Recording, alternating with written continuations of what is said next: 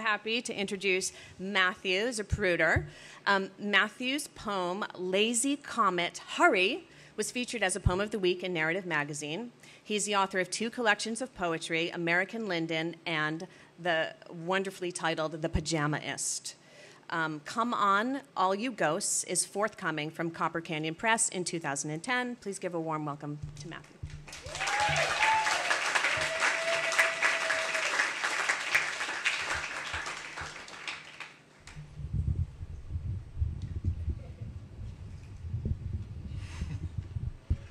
That's perfect. Hello. Wow. Um, I'm the last one, as befits a Z. So, um, thank you, narrative. Thank you, everyone. It's, it was great, great reading. I was totally. I never can listen when I have to read. I'm always like narcissistically petrified, but I actually like totally dug that reading, and it was great. So anyway, I know it's um, poetry time now.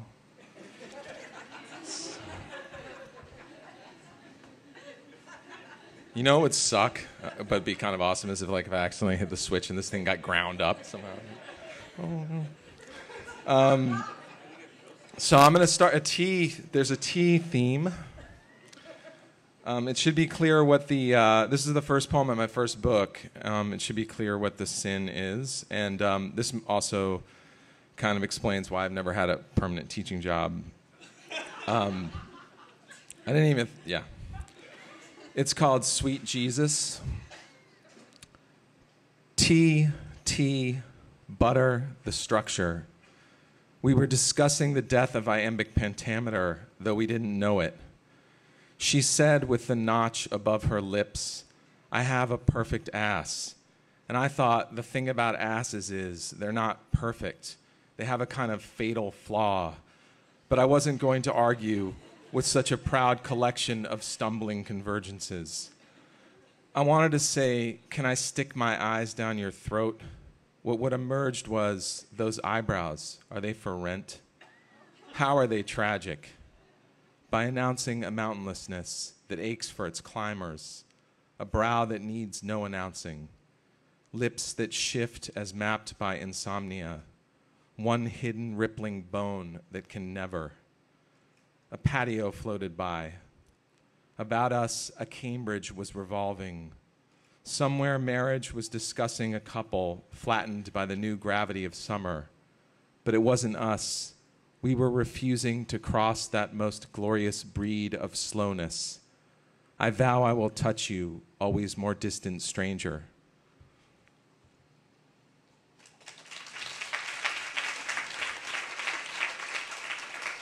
Thank you. This next poem uh, is the sin is envy, but it's envy of one country for another country. It's a whole big envy. And the poem is called Canada. Canada. By Canada, I have always been fascinated. All that snow and acquiescing, all that emptiness all those butterflies marshaled into an army of peace. Moving north away from me, Canada has no border. Away like the state, its northern border withers into the sky dome. In a world full of mistrust and self medication, I've always hated Canada. It makes me feel like I'm shouting at a child for letting a handful of pine needles run through his fist. Canada gets along with everyone, while I hang, a dark cloud above the schoolyard. I know we need war, all the skirmishes to keep our borders where we've placed them, all the migration, all the difference. Just like Canada, the Dalai Lama is now in Canada, and everyone is fascinated. When they come to visit me, no one ever leaves me saying, the most touching thing about him is he's so human. or, I was really glad to hear so many positive ideas, regardless of the consequences expressed. Or I could drink a case of you. I have pity, but no respect for others, which is not compassion, just ordinary love based on attitudes towards myself. I wonder how long I can endure. In Canada, the leaves are falling. When they do, Each one rustles, maybe, to the white tailed deer of sadness. And it's clear that whole country does not exist to make me feel crappy like a candelabra hanging above the prison world, condemned to freely glow.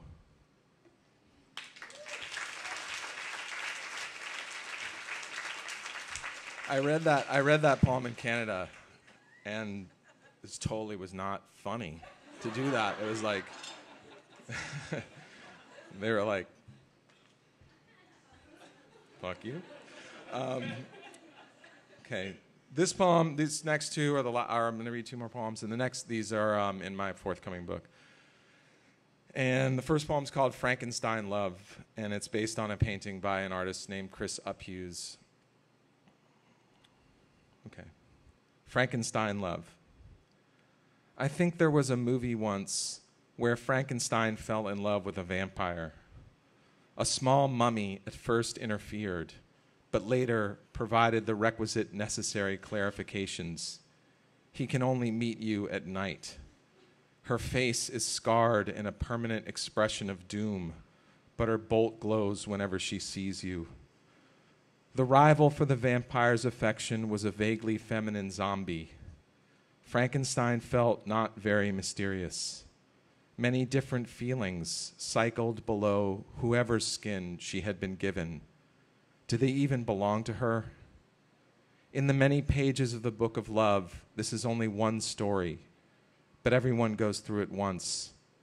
The main question is will you be the one unable to control your temper, sewed together as you are from the past?